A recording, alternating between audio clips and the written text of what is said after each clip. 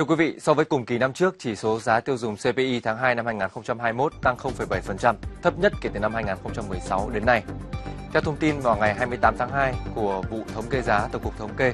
Tập đoàn Điện lực Việt Nam đã kết thúc chương trình hỗ trợ giá điện, tiền điện cho khách hàng chịu ảnh hưởng của dịch Covid-19. Giá lương thực thực phẩm, ăn uống ngoài gia đình tăng trong dịp Tết Nguyên đán là những nguyên nhân chính làm CPI tháng 2 năm 2021 tăng 1,52% so với tháng trước, mức tăng cao nhất của chỉ số giá tháng 2 trong 8 năm gần đây và tăng 1,58% so với tháng 12 năm 2020. Tuy nhiên, so với cùng kỳ năm trước thì CPI tháng 2 năm 2021 chỉ tăng 0,7%, thấp nhất kể từ năm 2016 đến nay. Bình quân 2 tháng đầu năm 2021, CPI giảm 0,14% so với cùng kỳ năm trước, lạm phát cơ bản tăng 0,64%. Trong tháng 2 năm 2021, nhu cầu đi lại du lịch của người dân giảm so với cùng kỳ năm trước, chưa bị ảnh hưởng nhiều của dịch Covid-19, nên chỉ số giá dịch vụ giao thông công cộng, dịch vụ du lịch và nhu cầu tiêu dùng khác giảm.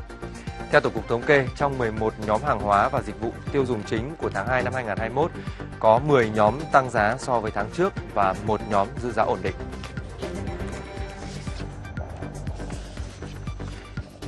Sáng 28 tháng 2, Thường trực tỉnh ủy và Ủy ban nhân dân tỉnh Bạc Liêu đã thực hiện cuộc họp khẩn đề ra các biện pháp cấp bách quyết liệt phòng chống dịch Covid-19. Sau khi chiều 27 tháng 2, tỉnh xác định phát hiện một trường hợp dương tính với virus SARS-CoV-2.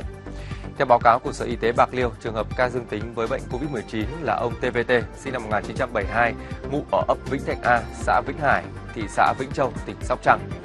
Hơn 14 giờ ngày 27 tháng 2, các nhân viên của công ty điện gió Bạc Liêu đưa 6 người đi cùng ông T để xin việc làm tại công ty điện gió đến bệnh viện đa khoa Thành Vũ Medic Bạc Liêu yêu cầu xét nghiệm virus SARS-CoV-2. Ngay sau đó thì những người này được nhân viên của bệnh viện lấy mẫu xét nghiệm và cho kết quả ông T bị nhiễm virus SARS-CoV-2. Cũng theo Giám đốc Sở Y tế Bạc Liêu, ngay trong sáng 28 tháng 2, Trung tâm Kiểm soát Bệnh tật tỉnh Bạc Liêu đã lấy mẫu ca dương tính gửi Viện Pasteur Thành phố Hồ Chí Minh. Viện cũng đồng thời cho kết quả khẳng định ông T bị nhiễm virus SARS-CoV-2.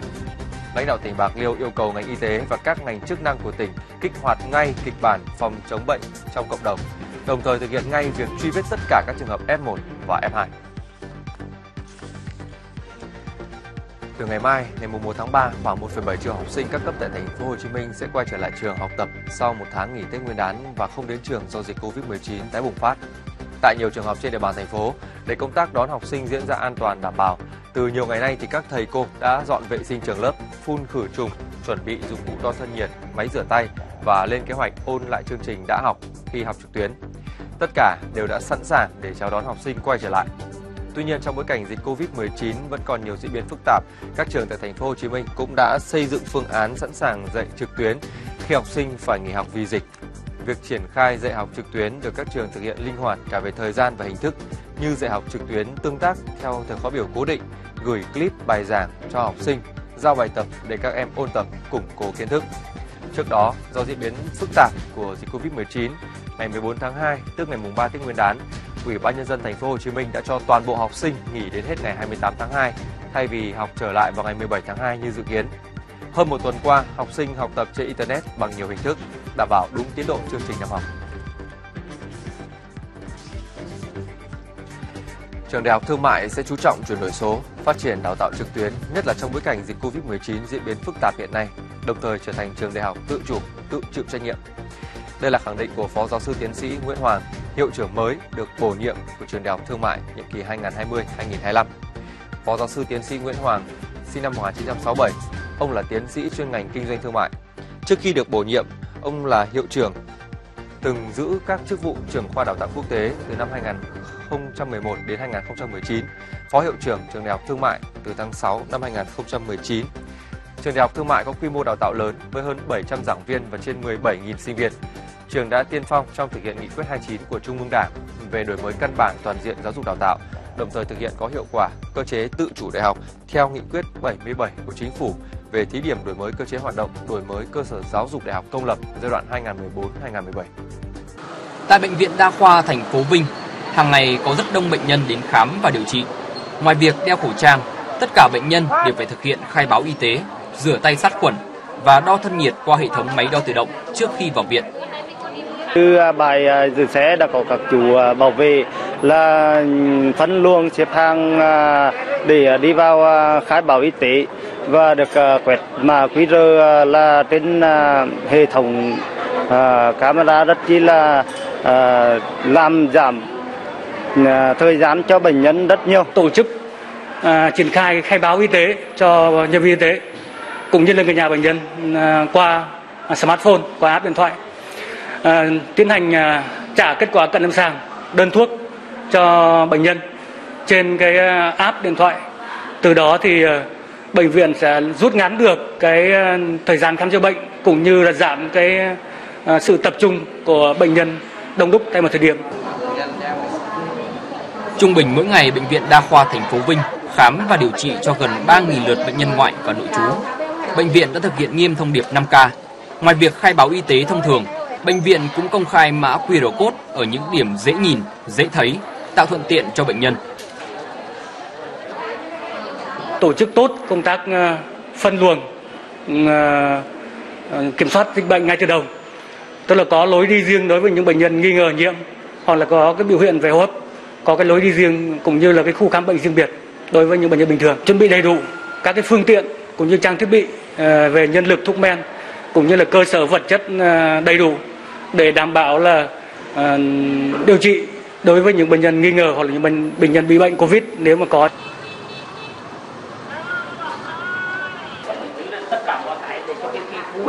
Tại bệnh viện hữu nghị đa khoa Nghệ An cũng thành lập khu cách ly để tiến hành khám sàng lọc. Nếu có trường hợp nghi ngờ hoặc bị mắc bệnh Covid thì được cách ly và điều trị kịp thời. Đặt tình huống mà bệnh nhân có trường hợp bệnh nhân dương tính xét nghiệm dương tính thì chúng tôi đã được chuyển ngay vào trong cái khu điều trị đặc biệt. Chúng tôi chia làm 3 khu rõ ràng. Khu thứ nhất là khu bệnh nhân nghi ngờ là gồm có 4 phòng chứa được 12 bệnh nhân đảm bảo cho được 12 bệnh nhân nằm nếu mà có bệnh nhân tình trạng nghi ngờ. Khi mà xét nghiệm dương tính rồi thì chúng tôi đưa vào cái khu cách ly đặc biệt, tức là ở bên trong đấy là còn thêm 20 giường bệnh nữa. Thì chúng tôi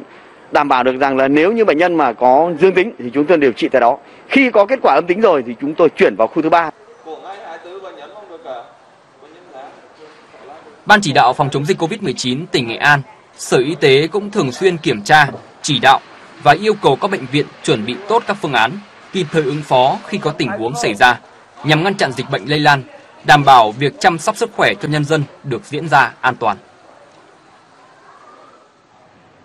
Ở vùng biển tỉnh Hà Tĩnh có hai trạm xá quân dân y kết hợp của Bộ đội Biên phòng Hà Tĩnh, được xem là điểm tin cậy trong công tác khám chữa bệnh ban đầu và chăm sóc sức khỏe của bà con vùng biển. Với đội ngũ quân y sĩ tận tình trách nhiệm nên thu hút đông đảo bà con nhân dân trên địa bàn và các vùng lân cận đến khám và điều trị. Qua đó góp phần tăng cường mối quan hệ đoàn kết giữa quân và dân, xây dựng ngày càng vững chắc thế trận lòng dân.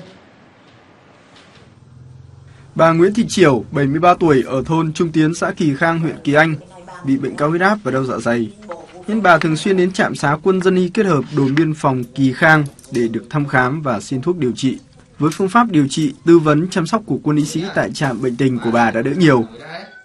Thì ngày nào bà vô đây thì à, như trạm quân y giúp đỡ, cũng chắc với bà, thế mà cả thôn cũng tiền trung tấn cũng đến đây để à, như trạm quân y 172 giúp đỡ để à,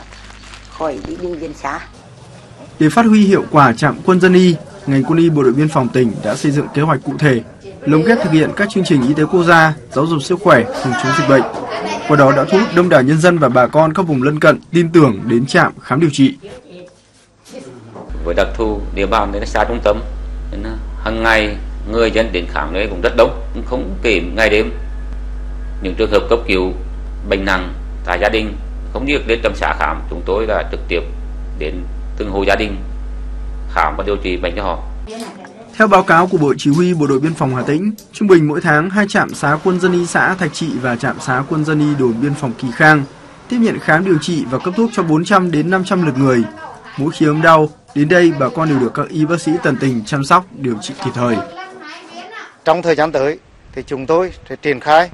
thì tăng cường cái nâng cao nghiệp vụ chuyên môn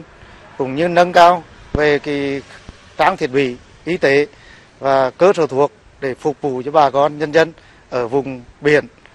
để tiếp cận được với cái cơ sở y tế vì ở đây là những cái nơi xa trung tâm y tế để bà con tiếp cận cũng như đảm bảo về cái sức khỏe cho bà con. Duy trì và phát huy hiệu quả mô hình quân dân y kết hợp là một trong những hoạt động cần thiết Nó không chỉ góp phần nâng cao năng lực mạng lưới y tế cơ sở, tạo điều kiện thuận lợi cho người dân được tiếp cận các dịch vụ y tế kịp thời, mà còn góp phần tăng cường mối quan hệ đoàn kết giữa quân và dân. Ba là nhìn dưới bạn ạ. Nhìn. Các cơ sở kinh doanh dịch vụ ăn uống tập trung đông người, trong đó có quán nhậu, quán bia, là một trong những điểm nguy cơ cao về lây lan dịch bệnh. Trong tình hình dịch COVID-19 vẫn đang diễn biến hết sức phức tạp, việc tăng cường các biện pháp phòng chống và kiểm soát dịch bệnh tại các quán nhậu là điều hết sức cần thiết, nhất là với thành phố Hồ Chí Minh, nơi có số lượng quán nhậu, quán bia nhiều nhất nhì cả nước.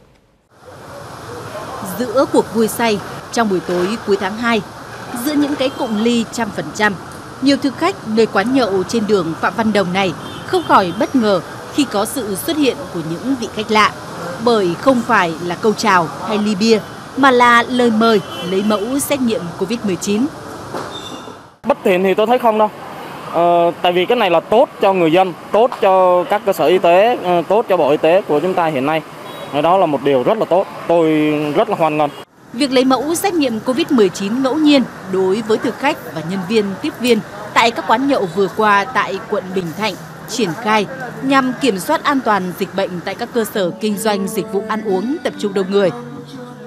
Đây là mình cũng là góp sức vào cái việc mà chung tay bảo vệ cộng đồng. Việc mà 123 do chúng tôi cùng với kết hợp với bên phường và bên trạm để mà lấy mẫu xét nghiệm cho toàn quán như vậy là để đảm bảo cho khách khách hàng và cho mọi người biết là bọn tôi đang làm rất là tốt công tác phòng chống dịch bệnh. Hiện quận Bình Thạnh đã tiến hành lấy mẫu xét nghiệm ngẫu nhiên ở quán nhậu tại các khu vực trọng điểm như phường 11, phường 13, phường 17. Bước đầu hàng chục mẫu xét nghiệm đã cho kết quả âm tính. Số lượng mẫu xét nghiệm còn lại đang chờ kết quả. Việc lấy mẫu xét nghiệm sẽ được triển khai tại 20 phường của quận đến hết tháng 3 cái mẫu ờ, mình lấy tại các ờ, quán ờ, cơ sở kinh doanh dịch vụ ăn uống thì hiện tại nó không khác gì với so với lại các mẫu mình lấy ở, ví dụ như điều tra dịch tễ liên quan đến tiếp xúc các cái trường hợp F1 hay F2 tiếp xúc gần với bệnh nhân F0. Qua các đợt kiểm tra khảo sát thì cũng ghi nhận là các quán là chấp hành tốt, như là dưới 30 người, rồi giữ khoảng khoảng cách à, hai người là một mét à, tương đối là đảm bảo trên địa bàn. Đối với những cơ sở mà chưa thực hiện tốt các cái biện pháp phòng chống dịch thì ủy ban phường à, tiến hành à, xử phạt vi phạm hành chính. Việc lấy mẫu xét nghiệm ngẫu nhiên này là một phần trong nỗ lực tầm soát dịch Covid-19 tại thành phố Hồ Chí Minh, nên được đánh giá là vẫn đang tiềm ẩn nguy cơ dịch bệnh. Sự hợp tác tích cực của người dân, các cơ sở kinh doanh với lực lượng chức năng sẽ giúp cho công tác phòng chống dịch của thành phố đạt hiệu quả.